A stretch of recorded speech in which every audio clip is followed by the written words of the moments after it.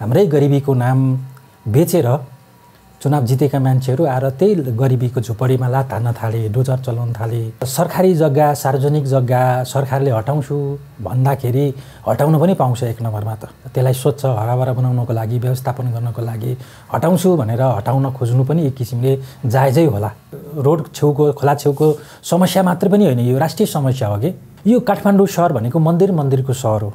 यहाँ मानवता बाँच्नुपर्छ कि? होइन? मानवताविहीन सहर हुनु हुँदैन अनि मानवता विरुद्धको कुनै पनि सिद्धान्त पनि हुनु हुँदैन कि? नीति पनि मानवता विरोधी नीति हुनु हुँदैन विकास पनि मानवता विरोधी विकास हुनु हुँदैन त्यहाँ जुन बसिरहेका छन् आन्दोलनमा हिजो उत्रिए तिनीहरूको बस्यौँ चिया खायौँ नि। हो हो त्यहाँको वस्तुति वस्तुस्थिति हेर्दाखेरि त्यहाँ सबै हुकुमवासी छन् भन्ने पनि होइन कि?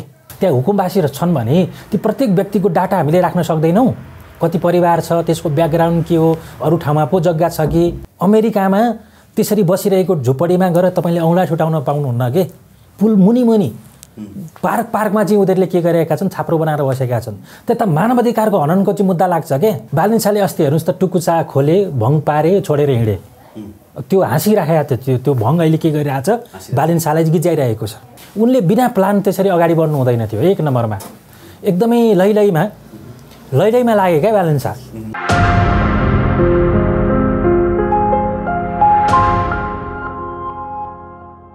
मनोविद गोपाल ढकालजी हाम्रो साथ हुनुहुन्छ गोपालजी यहाँलाई हार्दिक स्वागत धेरै धेरै धन्यवाद आराम हुनुहुन्छ एकदमै ठिकठाक छ खुसी देखिनुहुन्छ दाजु सधैँ खुसी हो त मनलाई खुसी बनाउन सक्नुपर्छ एकदमै मनलाई कसरी खुसी खुसी हुन जान्नु पऱ्यो कि सबैभन्दा पहिले खुसी हुनु पनि एउटा कला हो होइन खुसी हुन पनि जान्नु पऱ्यो मान्छेलाई ठुलो ठुलो सफलता प्राप्त गरिरहेको हुन्छ तर पनि खुसी हुन सक्दैन कि? तर सानो सानो कुरामा पनि खुसी हुन चाहिँ सकिन्छ कि? सानो सानो कुरामा पनि रमाउन सकिन्छ होइन? र जो मान्छे खुसी हुन जान्दैन त्यसले ठुल्ठुलो प्रगति गर्यो भने पनि त्यो प्रगतिले पनि उसलाई खुसी दिन जान्दैन कि? सक्दैन कि? सबै प्रगति गरेका पैसा कमाएका मान्छेहरू खुसी नै हुन्छ एकदमै एकदमै। त्यो भएर खुसी हुन चाहिँ जान्नु पर्दो रहेछ क्या यो चाहिँ एउटा आर्ट रहेछ। कला एकदमै एकदमै। ओके अब कुरा आयो बालन शाहको बालन शाहको विषयमा हामीले चुनाव अगाडिदेखि स्थानीय तहको चुनाव अगाडिदेखि नै निरन्तर होइन विभिन्न डिबेटहरू गऱ्यौँ कुराकानीहरू गऱ्यौँ। कतिपय सन्दर्भमा हामीले उहाँको प्रशंसा गऱ्यौँ कतिपय सन्दर्भमा आलोचना गऱ्यौँ। अब अहिले आएर फेरि एउटा निर्णय तपाईँको सुकुम्बासी बस्ती हटाउने जुन निर्णय महानगरले गरेको छ सायद त्यो बागमती सभ्यता करिडोरलाई सहयोग पुर्याउनको लागि होला। यो निर्णयले त यो कठाङ्गिदो जाडोमा सुकुम्बासीहरूलाई बिचल्ली बनाउने भयो। हिजो आफ्नो गुण भत्किने भएपछि हातमा सिरुपाते खुकुरी बोकेर पनि आए। कतिपयले त त्यसको फरक फरक कोणबाट आलोचना पनि गरेका छन् होइन? कतिपयले समर्थन गरेका छन्। तपाईँको तर्क चाहिँ के छ? जनतालाई यो बुझाउन चाहे अब त्यहाँ सुकुम्बासीहरूको आवाज पनि मैले हिजो सुने उहाँहरूको भनाइ के छ भन्दा चुनाव जित्नुभन्दा अगाडि बालन शाहले एउटा गीत गाउनु भएको थियो। गरिबीको चमेली कोही छैन। खै त बोलिदिने हाम्रो लागि होइन? त्यसो भनेर जित्ने हाम्रै नाम हाम्रै गरिबीको नाम बेचेर चुनाव जितेका मान्छेहरू आएर त्यही गरिबीको झुपडीमा लात हान्न थाले डोजर चलाउन थाले होइन भनेर पछ एक किसिमको पछुतो पनि छ उनीहरूमा। अब दुईवटा कोणबाट यसलाई हेर्न सकिन्छ? अब दुइटै कोड पनि जायज हो वास्तवमा। कसैले कुन कोणलाई अलिकति प्रायोरिटी दिएला कसैले कुन कोणलाई अलिकति टेको भन्ला। अब सरकारी जग्गा सार्वजनिक जग्गा सरकारले हटाउँछु भन्दाखेरि हटाउन पनि पाउँछ एक नम्बरमा त। त्यो बागमती सभ्यताको जुन कोरिडोर हो त्यसलाई स्वच्छ हराभरा बनाउनको लागि व्यवस्थापन गर्नको लागि हटाउँछु भनेर हटाउन खोज्नु पनि एक किसिमले जायजै होला। बाबुरामले पनि प्रयास गरे हुन्। हटाएका हुन् मध्यरातमा डोजर चलाएका हुन्। यस्तै कठ्याङ्ग्रो जाडो थियो कि यता बर्खाको समय थियो है। तर सकेनन् असफल भए तिनी। पछि फेरि ती हटेर गएका मान्छेहरू फेरि त्यही ठाउँमा आएर बसे है। अहिले त्यसरी नै हटाइएको थियो त्यो सफल हुन सकेन र यो मुद्दा अहिलेको मुद्दा पनि होइन। र त्यो सुकु त्यति त्यो तपाईँको पस त्यो रोड छेउको खोला छेउको समस्या मात्रै पनि होइन यो राष्ट्रिय समस्या हो कि? राष्ट्रिय राज्यले होइन यो न ऐलानी जग्गामा बसेकाहरूले लालपुर्जै बनाइसके हो। हो कतिले ऐलानी जग्गामा बसेकाले लालपुर जाने अनि यसलाई राष्ट्रिय समस्या कसरी भन्ने सर? सर्लाहीमा म जाँदाखेरि त्यहाँका बाजेहरूले के भन्नुभएको छ भने हामी त भस्मे फाँडेर बसेका हौँ बाबु भन्नुहुन्थ्यो कि। त्यहाँ जङ्गलै फाँडेर चाहिँ बस्ती बसाइएको हो होइन? अब जहाँ जहाँ तपाईँको भनौँ न सरकार सबै जमिन सरकारी जमिनै हो काहीँ न काहीँ मान्छेहरूले फाँडेर बसेकै पछि लाल पूर्जा बनाए व्यक्तिको नाममा गयो अब अहिले बालन शाहले त्यहाँ हात हाल्नु फेरि यो अवस्थामा चुनावको परिणाम भर्खरै आउँदैछ होइन? यो जायज हो त। एकदमै। एकदमै म त्यही कुरा गर्दैछु पहिलेको जमानामा तपाईँले भने जस्तै झोडा फाले फाडेर बसिन्थ्यो राज्यले प्रोत्साहन पनि गर्थ्यो त्यहाँ खेती गर्न बस। एकदमै बस्ती बसाउन प्रोत्साहन पनि गर्थ्यो त्यो जमाना फरक छ अहिलेको जमाना फरक छ होइन? अब त्यहाँ एक किसिमले हेर्दाखेरि सरकारको राज्यको अधिकार क्षेत्रभित्र पर्ने कुरा हो हामीले चाहँदा हटाउन सक्छौँ भनेर भन्न पनि सक्यो एक किसिमले। तर दोस्रो कोणबाट हेर्दाखेरि नि मानवताका कुराहरू आउँछ कि? यो काठमाडौँ सहर भनेको मन्दिर मन्दिरको सहर हो। यहाँ मानवता बाँच्नुपर्छ कि होइन मानवताविहीन सहर हुनु हुँदैन एक नम्बरमा मैले भनेको कुरा। यो त मानवता बिन हुँदैन। हो त्यही त। मानवताविहीन काठमाडौँ सहर हुनै सक्दैन किनभने यो मन्दिरको क्षेत्र मन्दिर मन्दिर भएको सहर हो यो। एउटा मानवताको कुरा गर्नुपर्छ। अनि मानवता विरुद्धको कुनै पनि सिद्धान्त पनि हुनु हुँदैन कि? कुनै राजनीतिक सिद्धान्त छ भने त्यो मानवता विरोधी छ भने त्यो सिद्धान्त पनि काम लाग्दैन त्यस्तो सिद्धान्त पनि हुनु हुँदैन एज नीति पनि मानवता विरोधी नीति हुनु हुँदैन विकास पनि मानवता विरोधी विकास हुनु हुँदैन होइन? कुनै पनि व्यक्- व्यक्तिको विकास निर्माण गर्दाखेरि नीति निर्माण गर्दाखेरि सिद्धान्त जे होस् त्यो मानवतामा टेकेर चाहिँ के गर्नुपर्छ? अगाडि बढ्नुपर्छ। अब तपाईँले भने जस्तै त्यहाँ त्यहाँको जुन फुटेजहरू आए त्यहाँ हेर्दाखेरि सब होला नि फुटपेज पनि होला कतिको घरहरूतिर पनि होला तर तिनीहरूको अनुहार हेर्दाखेरि नि त्यहाँ जुन बसिरहेका छन् आन्दोलनमा हिजो उत्रिए अनुहार तिनीहरूको बस्यौँ चिया खायौँ नि। हो हो? त्यहाँको वस्तुति वस्तुस्थिति हेर्दाखेरि त्यहाँ सबै हुकुमवासी छन् भन्ने पनि होइन कि? तर बाहिर जसरी प्रचार। काठमाडौँमा चारआना घडेरी पाउनकै लागि चाहिँ त्यहाँ कब्जा गरेर बसे खुकुरी उज्याउन आए त्यो पोर्ट्रेट छ नि त्यो एकदमै। पपुलिजमको आडमा जुन कुरा एकदमै। पोर्ट्रेट गरिरहेको छ त्यो चाहिँ गलत हो एक- भन्नु एक- खोजेको। एकदमै। त्यही त त्यही म टेक भन्दैछु। त्यहाँ हामी पनि गएका छौँ हामी धेरैचोटि गएका छौँ त्यहाँ। त्यहाँ हेर्दाखेरि त्यहाँ सुकुम्बासी नै छन् क्या जेनुइन मान्छेहरू नै छन्। होइन त्यहाँ सबै हुकुमवासी छन् भन्ने होइन। तर मिडियामा चाहिँ त्यसरी त्यसलाई इन्टरप्रेट गर्ने काम गरियो होइन? त्यो- मुद्दालाई उनीहरूको मुद्दालाई चाहिँ कमजोर बनाउने चाहिँ काम गरियो। अब दुईवटा पक्षहरू होला नि कोही कसको काठमाडौँमा घर छ भने? एकदमै। काठमाडौँमा घर भएका व्यक्तिलाई पक्कै पनि त्यो हटोस् भन्ने चाहना छ क्या अनि कसको कसैको काठमाडौँमा घर छैन त्यहाँ सुकुम्बासी बसिरहेका छन् हामी जस्तै निम्न वर्ग छन् तिनीहरू ढा पनि लागेको हुनसक्छ के? यिनीहरू चाहिँ त्यहाँ बसिरहेका छन्।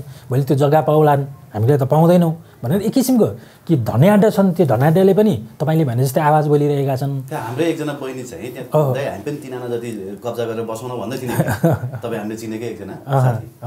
अब त्यो एक दुई दिनमा बसेको होइन नि त तिनीहरू त। तिस वर्ष तिस चालिस वर्षदेखि बसिरहेका छन् त्यही एकदमै। एकदमै। त्यहाँ। एकदमै। त्यहाँ कोही बसिया छैन र हिजो हो। एकदमै। एकदमै। त्यही एकदमै। रहर होइन। त्यो चारना जग्गा काठमाडौँमा यति आउँछ भोलि बेचौँला अनि यसरी उ गरौँला भनेर त्यो हिसाब किताब गरेर मूल्य मूल्याङ्कन गरेर बसेका मान्छे हो छैनन्। त्यहाँ तिसौँ वर्षदेखि। एकदमै तिसौँ वर्षदेखि बसिरहेका छन्। अब हेऱ्यौँ नि त कस्तो कारुणिक दृश्यहरू पनि देख्यो कि। मान्छे चाहिँ तपाईँको बच्चा काखमा च्यापेर बसेको छ एउटा एउटा दृश्य। अर्को दृश्य क्रिया पारिरहेको छ क्या सेतो लुगामा। ती कहाँ जाउन् तिनीहरू रातारात? काम सिद्ध्याएको छैन। दुःखमा छन्। अनि फेरि कता बनेको अपार्टमेन्टको फोटो देखाएको छ अनि यहाँ सुकुम्बासीलाई बन्न बनाए बस्न बनाइदिएको भनेको छन्। तर त्यहाँ लगेर राख्ने काम होइन त्यो समन्वय गर्ने काम पहिला गरेर अनि भत्काएको एकदमै एकदमै। एकदमै एकदमै। तपाईँले धेरै राम्रो कुरा गर्नुभयो। बनेको त रहेछ बिल्डिङ बाबुरामकै पालामा पछि? तर कसैले पनि त्यहाँ व्यवस्थापन गर्ने बस भनेर व्यवस्थापन गर्ने काम चाहिँ गरि गरेको रहेनछ कि? त्यो। अँ त्यो चाहिँ तपाईँको भुतुलाङ बङ्गलाको रूपमा चाहिँ त्यो परिणत भएको रहेछ। है?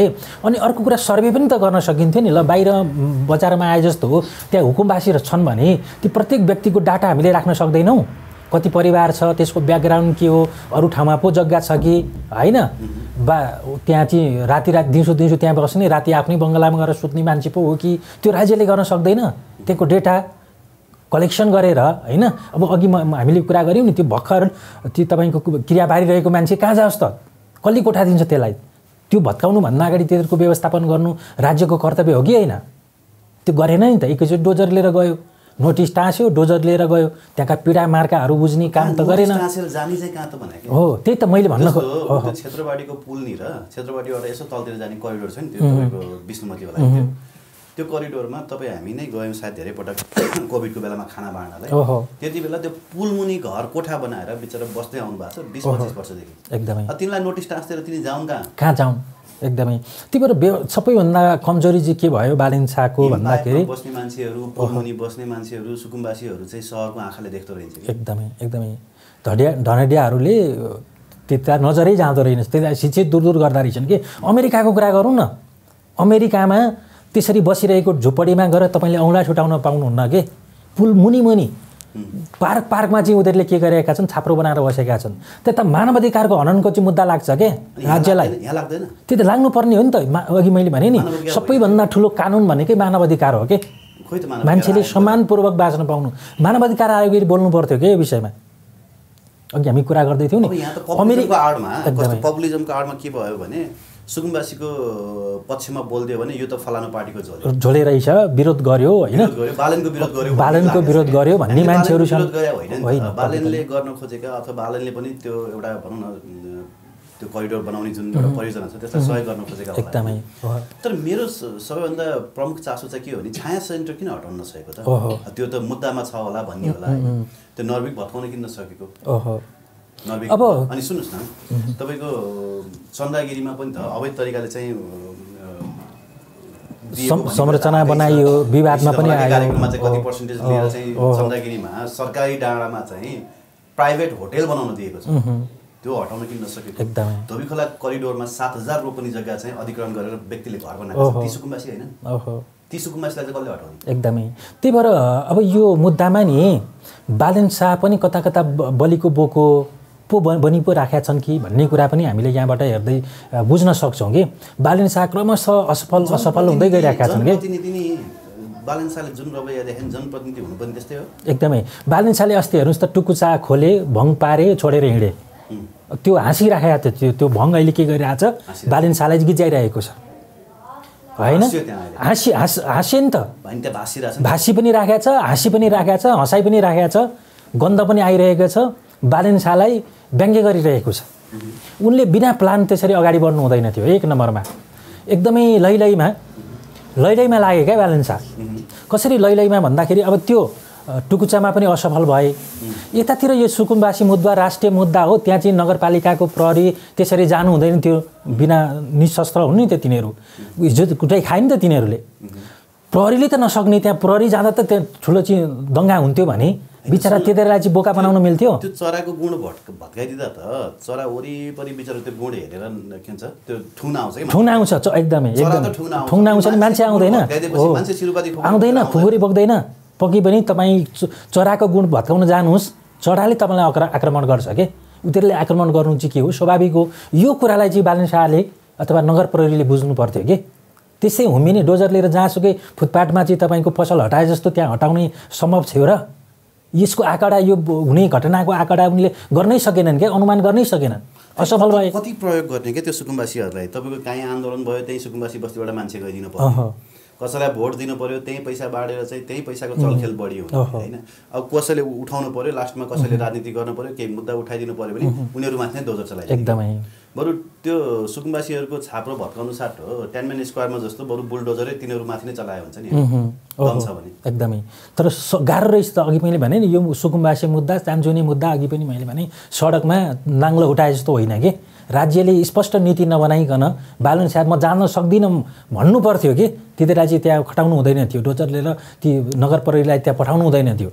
यसको जिम्मेवारी बालन शाहले लिनुपर्छ। यो कुरा तितो लागोस्। अथवा मिठो लागोस् सही लागोस् गलत लागोस् जसै लागे पनि त्यो चाहिँ ठुलो भुल हो गल बालन शाहको अथवा नगर प्रहरी त? त घेर्न आउँथे त्यहीँ उसमा त्यो तपाईँको नगरपालिकाको कार्यालयमा आउँथे ती सुत्थे नि। घेर्छन् नि त। होइन र? अघि मैले भने बिना व्यवस्थापन मानवता सबैभन्दा ठुलो कानुन भनेकै मानव मानवीय कानुन हो नि। कुरो बुझ्नुभयो नि मैले भनेको कुरा। त्यही भएर जुनसुकै नीति किन नहोस् जुनसुकै योजना नहोस् कुनै जुनसुकै प्रोजेक्ट किन नहोस् मानवतालाई पहिले प्राथमिकतामा राख्नुपर्छ। होला अघि पनि मैले भने राज्यको सम्पत्ति हो त्यो राज्यको कुनै योजना होला केही गर्न खोजेको होला पार्क बनाउन खोजेको होला हराभरा बनाउन बनाउन खोजेको होला ठिक छ। तर त्योभन्दा अगाडि चाहिँ मानवतालाई चाहिँ हामीले के गर्नुपर्छ? ख्याल गर्नुपर्छ। तर त्यो ख्याल गरिएन। होइन? जे बनाउने जे बनाए पनि यदि तपाईँ मानवता नै रहेनछ भने यो मानवविहीन सहरमा हामी बाँच्न सक्छौँ। मानवताविहीन सहरमा बाँच्नुको कुनै अर्थ छ? दस बिस वर्ष विदेश गएर काम गर्दाखेरि चारना घडेरी काठमाडौँमा जोड्न सकिँदैन। खुकुरी उज्याको भरमा चाहिँ चारना पाइन्छ भने म पनि टुडीखालमा गएर बस्छु भन्ने तर्क गरेका छन् उनीहरूले त्यही ठाउँमा हामीलाई जग्गा चाहिन्छ भनेर त कसैले भनेका छैन भनेकै छैनन् एकदमै एकदमै। हिजो टाउको लुकाउने ठाउँ देशभरि जहाँ दिए पनि हुन्छ हामीलाई। व्यवस्थित गरेर दियोस्। अझ सकेसम्म यसो रोजगारीको पनि व्यवस्था। व्यवस्था गरिदियोस्। नभए हामीलाई यसो केही उब्जाएर खाने ठाउँ ओहो। हुन्थ्यो भनिरहेका छन्। एकदमै। अब त्यहाँ होला त्यहाँ सुकुम्बासीमा बसे पनि जागिर खायो होला नि दस पन्ध्र बिस हजारको स्कुटर चढे होला छन् नि स्कुटर चढे होला नि। त्यसलाई पनि हेर्नु हाम्रो दरि दरिद्र सोच हेर्नुहोस् त। स्कुटर चढ्नु नहुने सुकुम्बासीले। कोट लाउनु नहुने। भात खानु नहुने मासु भात खानु नहुने उनीहरूले। यस्तो पनि तर्क गरेर आउँछ। के ऊ त्यो माग्ने थोत्रे लुगा लगाएर माग्दै हिँड्नु पर्ने सुकुम्बासी भनेर। अब यहाँ सुकुम्बासीको परिभाषा नै के छ भन्दाखेरि नि मलाई चाहिँ के लाग्छ भन्दा अब यो सुकुम्बासीको यो प्रणाली यो परिभाषालाई पनि परिणत चेन्ज गर्नुपर्छ जस्तो लाग्छ। अब पहिलेको जमानामा चाहिँ खेत अनिवार्य हुन्थ्यो। एउटा घर अनिवार्य हुन्थ्यो। अब अहिले खेतै चाहिन्छ भन्ने छैन कि? अब सम्भव पनि छैन। राज्यले सबैमा नागरिकलाई जग्गा दिन्छु भनेर सम्भव पनि छैन। अमेरिकामा हेर्नुहोस् त धनियाँ छन् तर उनीहरूको घर छैन कहीँ कसैको पनि छैन कि? सबै सुकुम्बासी मेरा साथीहरू छन् अस्ट्रेलियामा क्यानाडा फ्रान्समा अनि मेरो घर छ नि भन्दा त म चनक चकित भयो कि? ए तेरो पनि घर छ। त त त्यत्तिकै हिँड्छस् गाडी पनि चढ्दैनस्। लुगा पनि त्यस्तो लाउँछ तेरो त्यत्रो घर छ भन्छ नि। अचम्म मान्दा रहेछ। होइन के रहेछ उनीहरूको भन्दाखेरि नि घर हुने मान्छे त खतरा के? घर जोड्नु भनेको त धेरै ठुलो कुरो रहेछ। उनीहरू त फ्ल्याटमा बस्छन् होइन? कति ठाउँमा त राज्यले बनाइदिएको होला त्यस्तोमा बस्छन्। आफ्नो घर हुनु भनेको त त्यो विदेशमा त धेरै सम्पन्न रहेछ के? त्यही भएर हामीलाई हाम्रो घर छ भन्दाखेरि उनीहरू अचम्म मान्छन् के? तर अब त्यस्तै यहाँ पनि सबैको घर हुनुपर्छ सबैको जम्मा जग्गा हुनुपर्छ भन्ने चाहिँ होइन कि? अब नयाँ तरिकाले एकदमै। अब उसले आफ्नो चाहिँ त्यही दिनु त पर्यो। तर घरै जग्गा नै बाँध्नुपर्छ भन्ने सम्भव नहोला क्या अब किनभने यो सुकुम्बासी समस्या अनि भूमि आयोग बनाउने अनिखेरि आफ्ना कर्मचारी खटाउने अनि उनीहरू नै चाहिँ के के प्रतिवेदन बनाउने तलब मात्रै खाने गाडी चढ्ने काम यिनी दलहरूले गरे। एकदमै। त्यो त एउटा फ्रस्ट्रेसन गएर सुकुम्बासीमाथि पोख्नु पाइएन नि एकदमै एकदमै। गरिब मारेर गरिबी सकिँदैन। सकिँदैन।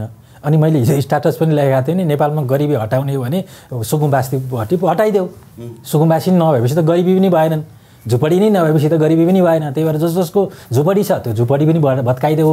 सुकुम्बासीले झुपडी बनाएको छ भने त्यो पनि भत्काइदेऊ। ठुल्ठुला घर मात्रै राख। देश समृद्ध भइहाल्छ। के गर्नै परेन? सुरुमा ठेलामा ठेला व्यापारीहरूलाई अलिकति कडाइ गर्दाखेरि हामीलाई चाहिँ ठिकै लागेको थियो। किनभने अस्तव्यस्त मान्छे हिँड्न पनि गाह्रो ट्राफिकको पनि व्यवस्थापनमा कमजोरी भएको थियो त्यो कारणले गर्दाखेरि। त्यो त उनीहरूले सर्टर लिन सक्ने अप्सन थियो व्यापार गर्ने मान्छेले। तर उहाँहरूसँग अप्सन नभएर हो नि त। अप्सन भएको त।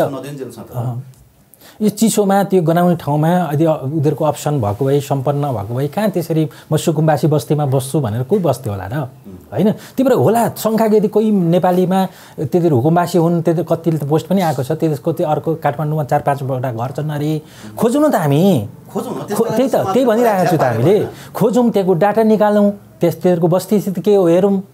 होइन? अब त्यो पनि नहेर्ने राज्यले एकैचोटि डोजर लिएर जाने अनि त्यहाँ चाहिँ तपाईँको क्रियापित्री बसिरहेका छन् बच्चा छ बुढा चाहिँ मान्छेहरू छन् वृद्ध वृद्ध छन् अनि राति राति डोजर लिएर सु अनि होइन उठीवास लगाएर त्यो त्यसले त मानवता त देखाउँदैन। यो विश्वको लागि त राजमर्दो कुरा हो। त्यही भएर बालन शाहले यी यावत कुराहरूमा चाहिँ ध्यान दिनु पर्थ्यो तर अलिकति उरुन्ठ्याउले व्यवहार पो हो कि उनको लैलैमा पो लागेर हिँड्यो कि अमता पो बढ्यो कि होइन? हो। हुनसक्छ। अम अब यति कुरा त उनले ख्याल गर्नु पर्थ्यो के? त्यहाँ त्यसरी अघिमा हामीले पटक पटक कुरा गऱ्यौँ नाङ्लो हटाए जस्तो त्यहाँ हट्दैनन् क्या मान्छेहरू? अनि ती नि निरत्ता चाहिँ तपाईँको सुरक्षा त्यो नगर प्रहरीलाई त्यहाँ हुम्नु पनि उनको चाहिँ गल्ती थियो। त्यसको सम्पूर्ण जिम्मेवारी उनले लिनुपर्छ।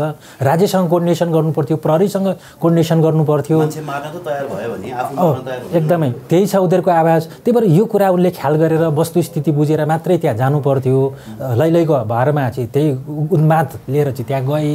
होइन त्यसरी नै थर्काउँछु। भनेर त्यसरी गए। होइन यो चाहिँ उनको ठुलो भुल थियो। अब यस्तो भुल चाहिँ सायद उनले अब सायद गर्दैनन् होला हामीलाई लाग्छ।